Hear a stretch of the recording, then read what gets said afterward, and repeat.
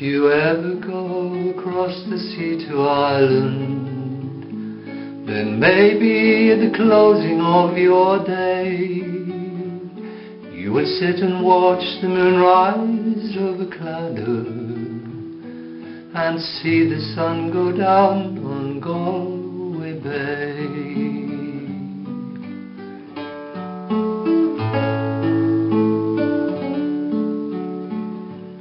Just to hear again the ripple of the trout stream, the women in the meadows making hay, and to sit beside the turf fire in the cabin. And watch the barefoot gossans as they play.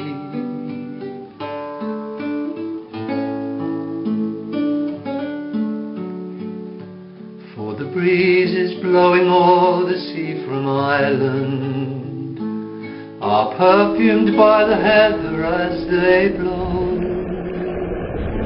And the women in the uplands digging practice speak a language that the strangers do not know.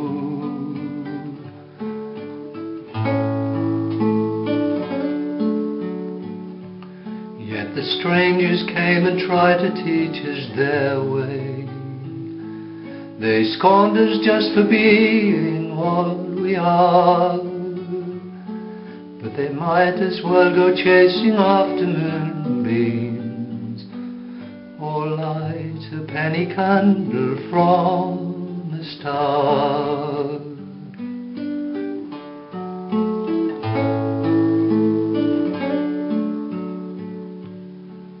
And if there's going to be a life hereafter, and somehow I'm sure there's going to be, I will ask my God to let me make my heaven